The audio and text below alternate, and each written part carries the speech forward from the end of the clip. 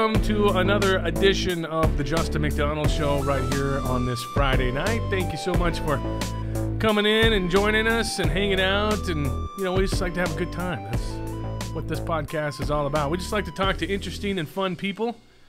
And sometimes we know the people, sometimes we don't know the people. But most of the time, I find them on Instagram. Yep. This is the part of the program where we get things kicked off with my Instagram interview.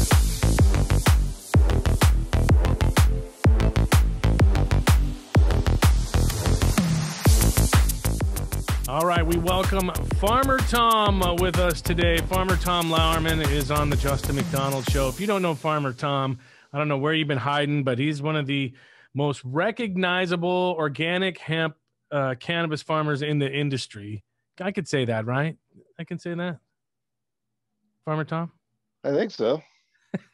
Well, I just said it, so I hope it's true. Um, you've been at this at a long time, and your brand has been out there for a long time. I have a Farmer Tom sticker on several things that I own. Um, tell the folks just a little bit about yourself. Uh, I like to, you know, talk to people and get the story straight from the horse's mouth, if you will. Sure. When, when did things start for you? Uh, tell me a little bit about your your background, and, and you know, you can take your time, but uh, this isn't a, you know, what do you call that? What's that one guy? Ken Burns movie. This is not a Ken Burns movie. we don't have that much Okay. time. We got about 15 minutes or so. All right. Okay. yeah. What? So tell us a little bit about what's going on. Okay. Well, you know, a little bit about my history. I was born and raised in San Diego. Um, I started landscaping at 12 years old, which really got me in touch with the earth and plants and compost and planting and irrigation and all the things that go along with farming. And then um, uh,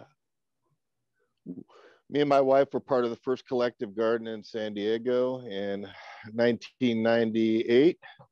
Mm. Um, it got we got rated in '99, where I got. And this was all in San Diego? 48 plants. Yeah, it was all in San Diego. okay. It was like uh, you know in the mid to late '90s, and uh, got arrested down there. Uh, went and spent a night in jail, and that kind of kicked me off into my um, advocacy. You know, once you've been arrested, the worst thing that could happen to you has happened already. So a lot of fear and indecision and stuff uh, kind of goes out the window. Um, from there, um, you know, we wanted to do organic farming, worked with a couple organic farms down in San Diego, and we grew uh, cannabis for our patients. Our co-op was set up a little bit different than most co-ops. We really didn't have the the jeweler's case out there or anything. You know, was a, a real traditional co-op where you bought a light, paid fifty dollars a month, and on the honor system, you got to take whatever you want. We'd hang all the plants. They'd go in there with scissors and baggies and mark what they took and take it, and that was it. It was pretty simple, pretty straightforward. Not a lot of cash going back and forth, uh, and it worked out really well for us for uh, several years until um, until the the arrest happened, which kind of put the whole thing into into chaos. Basically, they just wanted to get rid of us. We were in a um, Mm. uh, affluent part of San Diego, Hillcrest. Um, Yeah. We were located behind the oldest gay bar in San Diego, and uh, we had a nice a nice situation. So the you know the the police wanted to they just wanted to get rid of us. Uh, we were too out in the open as far as they were concerned, and They just wanted back then in early California, the police really didn't honor the medical marijuana laws at all. They just said, "Oh, we're going to arrest you anyways, and we'll let the courts figure it out." Gotcha. And uh, so that all went down, and uh, um, you know, me and my wife eventually moved to Williams, Oregon, for a couple years, whereas I was um, farm manager in an organic seed farm down there. We did a lot of wild crafting, um, picking herbs, you know, um, in their natural state through out southern Oregon. We did chickweed and arnica and hellebore and uh, yeah, I know all these John's things. I, I grew up as a, excuse me. Uh, I mean, I grew up as kind of a hippie kid, and my mom used all those things all the time. You know, uh, natural herbs, arnica a lot. I had a lot of bruises as a kid, falling down, playing hockey, nice. getting beat up by the older girls. You know, things like that. Yeah. Um, Yeah, I always uh, had that. So you were doing that kind of stuff, and then uh, you had the seed farm going as well. Yeah, and then uh, the seed farm closed down, and we uh, decided it was time to get our own place. Uh, the prices back then were pretty expensive in Southern Oregon, which they kind of have been since the early 2000s. Mm-hmm. And so mm-hmm. we decided to, to move north. And we moved up outside of Portland here in Vancouver, Washington, a place called Brush Prairie. Uh, mm-hmm. We've been here for 17 years now, and uh, we really love it here. You know, this has been our home. It's my little farm. It's my getaway. It's my sanctuary. I mean, I'd rather be there here than anywhere else. Yeah, I mean, there's something about the farm. You know, I love going out to farms. I live in wine country as well. Like, there's tons of farms. I got hazelnut farms around me and wineries and all kinds of crazy stuff. And it's just nice to to work in the city and drive home. You know, to that. Uh, yeah, I, definitely. I really, uh, I think that's why I live out there and I love it so much. But um, you're not just hanging out at the house all the time with the dogs and the wife and the family. You're you're off doing other things as well. Um, you do a well, lot. I gotta su- I gotta support my farming habit. You know. yeah, you got a farming habit. farming that's is right. like an it's like an addiction. You know what I mean? You kind of got to be able to support it. That's um, right. So that's right. I travel a lot. Last year was a busy year. We were, I started off the year doing these uh, um, hemp farming 101, the good, the bad, and the ugly, where I really educate people on how to maneuver through the industry and uh, keep themselves safe and give them good information on um, how to get the plants in the ground and uh, watering and fertilizing and all the processes all the way through a lot of farmers jump into um, hemp and they really don't know the amount of work that it takes. It's yeah. like uh, 10 times the effort of hay or anything else like that, where they just plant it and then they come and cut it down and bale it up and it's ready for market. Well, cannabis and hemp aren't that type of animal. You really, there's a lot of work in between. And, uh, uh, you know, so that's what I do so I did the hemp farming 101. We did in Southern Oregon. We did one in um, Santa Fe, New Mexico. Did one in Salt Lake City. Uh, then I did one in Puerto Rico. And then I went back to Puerto Rico and then I got stuck there through COVID. So I was there for two months on Puerto Rican lockdown, which is pretty serious. Uh, mm-hmm. They took it really seriously down there. I remember that you were you were stuck there for a really long time, right? Yeah, two months. wow. it seemed like it seemed like forever. Luckily, I was in a really nice place, and you know, um, but just just even being locked down in a house for that long is. I mean, we tried to go to the beach, and I'm an old surfer, and I really wanted to get in the water, but the cops were at the beach every day, and so. But uh, I enjoyed it. Um, cops at the beach made, to keep you from surfing because of COVID nineteen. Right. Unbelievable. Wow. Yeah. Well, they had to be really strict. You know, nobody could go out on Sundays because of church and stuff. And mm-hmm. they were just super strict about it. And uh, I kind of respected that, you know, at the beginning of the pandemic, not everybody really knows what's going on. So I got the first flight out and uh, came back home and then instantly got uh, hired to help uh, um, these this group down in uh, outside of Coos Bay mm-hmm. um, run their operation. They were doing 50 acres and 58,000 plants, and they needed, there were students in our school, and they just wanted some hands on through the whole season. So that's wow. what I did. I was there to uh, supervise the whole process, and uh, we turned it turned out pretty good. Everything was nice and even. We've got a we got a you know all the flowers were beautiful. Mm. Um, that's amazing though I mean, that is amazing that people are growing that much hemp. I, it blows my mind. But Farmer Tom, we're going to take a quick break. When we come back, uh, I want to talk to you more about, you know, where that industry is going and okay. how many people are growing now and things like that. Um, I really would like to uh, see where you think the industry is going. So we're going to take a quick break. We'll come back. We'll have more with Farmer Tom Lauerman right here on the Justin McDonald Show on Talkcast PDX. We'll be right back.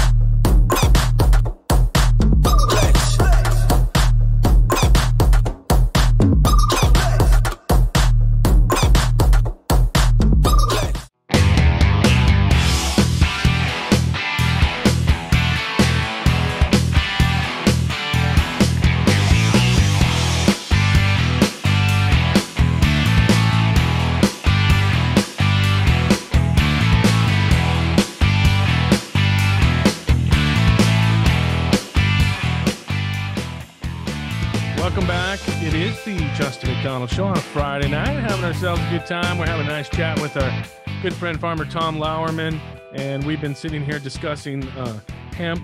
And then, of course, we got his backstory, you know, getting busted and things like that. That will change your whole perspective on everything, um, especially back then, right? I mean, yeah, they weren't messing around back then, that's for sure. Yeah, they definitely weren't messing around. But uh, here we are in a new age, a new world. Uh, everything is flourishing. It's starting to look good on the uh, national legalization of cannabis as well. And but the CBD world and the hemp world is huge, and you're a part of that world.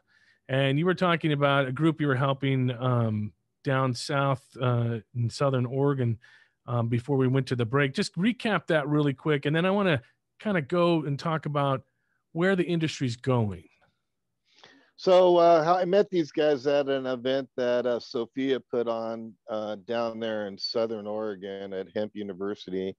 And I met these two gentlemen, and they really wanted to get into hemp. They had some money behind them, and um, they thought it would uh, make some, you know, for some good. They had a big piece of land, and they had really nice prop, uh, soil, and they were ready to go. So, um, I mean, I told them all the dangers, you know, like when you get started on, on any hemp grow, first thing you got to do is have a customer. And uh, yeah. then next thing mm-hmm. you need to do is have drying and curing and storage space for it before you even buy, you know, buy a seed. Mm-hmm. So we have Hemp Farming Academy. It's the first online hemp farming school. Me and a guy named Dustin, um, who approached me at an event, you know, um, gave me the opportunity. Um, well, we're working on two years now we mm. have, uh, you know, we're working on 150 students worldwide, and teaching and educating is really where my heart's at. I really enjoy seeing my students doing so well and growing amazing crops and uh, flourishing in the hemp industry. Well, the hemp industry has a big glut um, in the market, uh, especially from, you know, the you know, there's still product out there from the um, 2019 uh, farming season and then the 2020 season. So the price is like plummeted. It's at uh, 60 cents for CBD, and they don't even care what the uh, CBD ratio is. Mm, and don't even for care? CBG, it's yeah, it's for CBG, it's 60 cents a, a, pound, and it really needs to be somewhere a lot more like $10 a pound for everybody to make money, yeah. for the farmer to make money, for the processor to be able to sell it. Now, crude right now is going a couple hundred dollars a kilo where it really should be at between eight and a thousand dollars a kilo to have a sustainable market. It takes 40 pounds um, to uh, to make a uh, a kilo of uh, distillate, and uh, so hmm. the the numbers really don't add up unless it's at that at that price point, and the processors and the farmers can make some money. So everybody knows, or at least most people think they know, CBD, CBG. Let's talk about that for a second. Um, yeah, it's the precursor. Benefit, that, it's the, CBG. It's a yeah, it's like the mother of cannabinoids. It's the precursor to CBD and THC, and it's uh, it's underdeveloped. Uh, uh, doesn't have any terpenes in it and the hmm. terpenes mm. are what um, and the trichomes the terpenes are the part that really hold the the cannabinoids in place so it's really like a dry um, it's really like a uh, you know like a a dry uh, you know a trichome mm, mm-hmm. so they really easily fall off so you could take a, a cbg bud and put it up in front of a mirror and put like paper underneath and then tap it and watch it snow and fall off. Wow.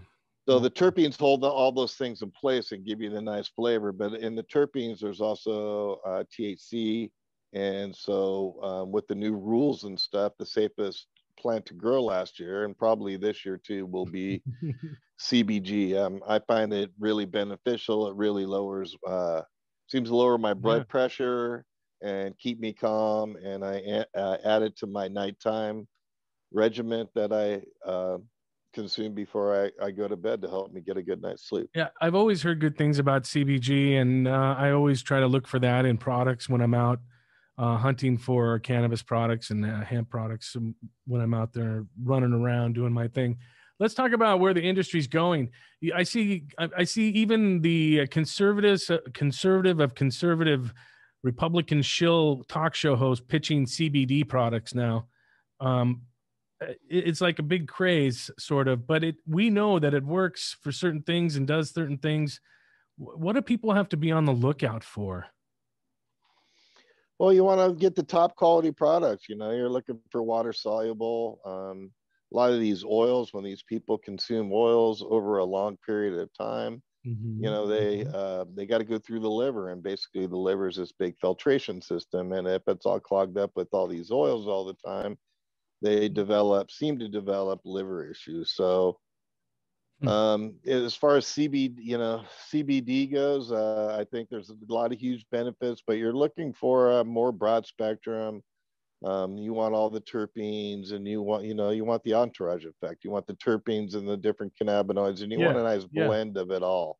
The full and spectrum. hopefully with the, yeah, hopefully with the moores Act, when we legalize THC, mm-hmm. we can get more compounds that'll be easier and ready available to, uh, to distribute to the public. So you want water soluble, of course, you want organic. Um, you want um, the product to come from a, um, a certified facility. There's a lot of things to look out for because there's a lot of there's a lot of flim flamming going on out there right yeah, now. Yeah, I was gonna say there's got to be some snake oil salesmen out there. You know. Oh, no doubt there there are. So gotta uh, watch try to help everybody. Um, yeah. you know make their way through the forest of information and disinformation. So if someone wants to uh, get in touch with you and learn a lot more about everything else uh, how do they get in touch with you? Now we know you um, from instagram and for, of course from life but uh, this is the segment on the show what we call the my instagram interview but how do people yeah sure yeah have we're get... at instagram farmer tom uh, uh, farmer tom lauerman um, uh, we're all over facebook we're on LinkedIn. Um, yeah. I'm also on some Twitter. I do some tweeting every now and again. Some tweeting. And uh, we can find uh, more information at farmertomorganics.com and Hemp Farming Academy. You can learn more about our school. Yeah. Our school, like I said, we've been in business for two years now, and we offer a fa- along with the video courses, we offer a Facebook page where you can answer any questions and part of the deal is I'll always give my students, you know, five ten minutes on the phone. So if they're ever in a pinch, oh. they can pick up the phone and call me. I'm totally open. You know, I'm I'm a guy who answers this phone. That's invaluable. You know, I mean, I mean, it just that's amazing that your students can just you know reach out and talk to you when they need to. Yeah, I mean, I got to make it a win-win for everybody, and yeah. and you know, if I can help you know, through the videos, if they're not getting something or they run into a pinch or they're trying to vet somebody out, yeah, I'm more than happy to talk to them on the phone and walk them through it. Well, Farmer Tom, I'm so glad that you got to join me tonight on the Justin McDonald Show. Of course, we're going to be doing some other things. Uh, this, of course, for our good friends here at TalkCastPDX.com, where you can listen to other great shows. We have Citizen Smith now, and we have Channel Weird with Clyde Lewis and Keep Portland Paranormal, and we got a lot of other great shows coming. But we're also doing some stuff from CannaCast 420 again, and we hope to have you involved at some point with several things that we got going on there. So uh, I just appreciate your time, and I appreciate you coming on the show. I appreciate you as a human being as well. And like I tell everybody who comes on this show, peace. peace. Peace, buddy. Thanks so much for everything. You got it.